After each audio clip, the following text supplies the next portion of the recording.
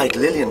What a fantastic chance we just had. We, we, we came on the streets through Baku and we just stopped one of the buses. It happened Yes. to be the delegation bus of, of the Finnish delegation. Yeah, but Isn't that that is- amazing? it's and we- amazing. we're sitting next to Pernilla here. Amazing. Hello, Pernilla. How are you? hello, I'm Pernilla. fine, thank you. Hello. T- tell me one, one secret. You appear to be so calm, so relaxed, and all about this. You are the ambassador to your country at the Eurovision this year. What's the secret?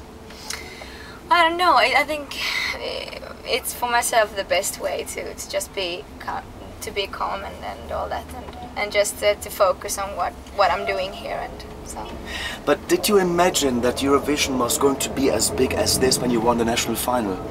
well, I well some people told me it's gonna be a circus, like uh, many things happen at the same time, and uh, so yeah, I did I did know that it would be like this, but uh, when I'm here now, it it is really really a hurry everywhere and. Uh, Did you have any mentor or somebody who could give you good advices before you left from Finland? Uh, yeah, I've had many, many friends who gave advices, and uh, and also Paradise Oskar gave some advices.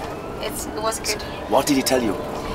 He told me to just be myself and uh, and calm and take this as a as a nice and uh, lovely thing, and just just enjoy enjoy this moment. I also heard that you have been working together with a former Eurovision uh, celebrity from Finland. Yeah, Ami Aspelund. Yeah. Ami Aspelund participated in uh, Eurovision for, I don't know, like many years ago. Yeah. But she is a very experienced artist in Finland and well known as well.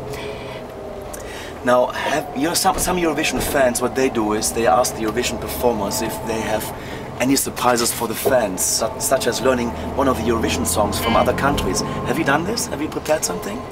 Uh, I wouldn't say I have prepared, but I I know some songs, of course, but I haven't. Still, I haven't uh, performed something Okay. to anyone. Which songs? You don't have to sing it now, but just uh, any songs you can tell us already? I don't know which which song, but uh, It's nah. a secret, really. Okay, it's a, it's a secret. Will it be a Finnish song? Mm, yeah, of course.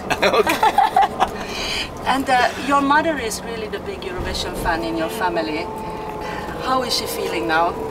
Well, she's a little bit nervous for the trip here to Baku, and uh, she already packed her stuff already, and she's on on her way. Wow, she's fantastic. ready to, to, to get here, but uh, well, they come on Sundays.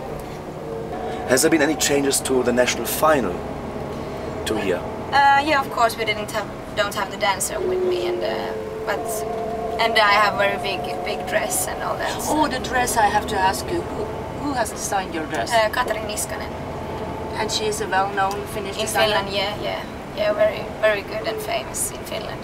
Mm, nice. And did you make any friends with other Eurovision performers here in Baku? Uh, here in Baku, I haven't had time to meet so so many, but in Amsterdam, I met met some girls, and uh, I've seen them quick, very quickly here, and so it's nice to know somebody. Who, who do you want to meet you haven't met yet? Uh, oh, I don't know. Maybe the neighbor country Sweden would be would be nice to, to meet Loreen. All right. Uh, we Tell wish you us, we can introduce her to you if you are interested. we wish you all the best of luck for Finland at Yeah. Eurovision, and uh, you're a fantastic ambassador Oh, for your thank you. country. And thanks for giving us the ride on your bus. Yeah, thank, Thank you you so very much. much.